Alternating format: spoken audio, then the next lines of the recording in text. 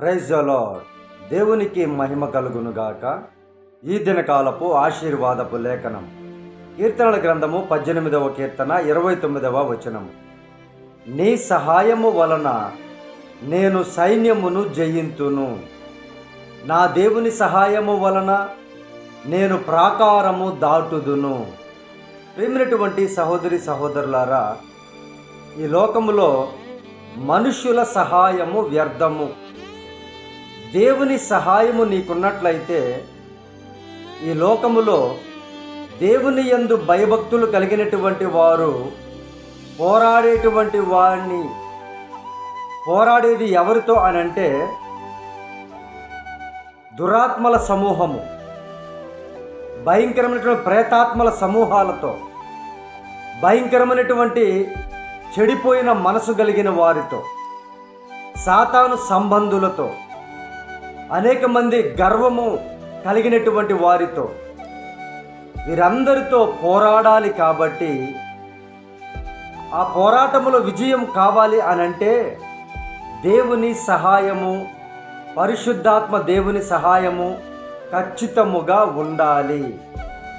అలనాటి భక్తులు చెప్తున్నటువంటి మాట దేవుని సహాయము వలననే ఇటువంటి సైన్యాలన్నింటినీ జయించవచ్చు అని చెప్తూ ఉన్నారు. అలాగే ప్రాకారము అనగా ఎత్తైనటువంటి అడ్డుగోడలు. వాటిని మీరు దాటాలి అని అంటే ఏసయ్య సహాయము ఖచ్చితముగా కావాలి. అలనాడు ఎరికో గోడలను కూలగొట్టినటువంటి దేవుడు. ఈరోజు నీ ఎదుట ఏ సమస్య ఉందో నీ ఎదుట ఎంత భయంకరమైనటువంటి ఎత్తైన గోడ కట్టబడి ఉందో దాన్ని నువ్వు దాటాలి అని అంటే ఏసయ్య సహాయము కావాలి.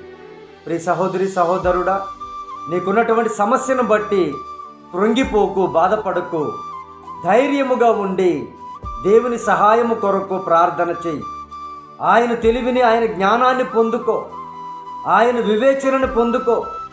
సమయం కోసం వెయిట్ చేయి తప్పకుండా దేవుడు ఆ ఎత్తైనటువంటి ప్రాకారములను దాటేటువంటి శక్తితో నిన్ను ఆయన నింపగలిగినటువంటి దేవుడు. ఈ లేఖనమును మీ జీవితంలో దేవుడు నెరవేర్చబడినట్లుగా ప్రార్థనలో ఏకీభవించండి.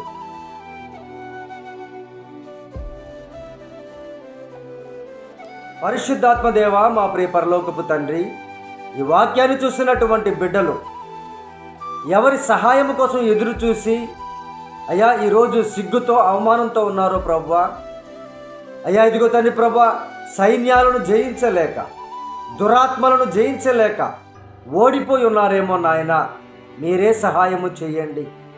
అయ్యా ప్రభా వారి ఎదుట ఉన్నటువంటి ఎత్తైనటువంటి సమస్యలను కొండలాంటి బండలాంటి సమస్యలను అయ్యా దాటడానికి మీరే సహాయము చేయమని అయ్యా ప్రతి బిడ్డను లేవనెత్తమని ఈ దినకాలపు దీవెనలతో ఈ వాగ్దానపు దీవెనలతో చూస్తున్నటువంటి ప్రతి బిడ్డ మీద యేసుక్రీస్తు వారి శక్తి కలిగిన నామములో దీవెనలన్నీ కుమ్మరించబడునుగాక. ఆమె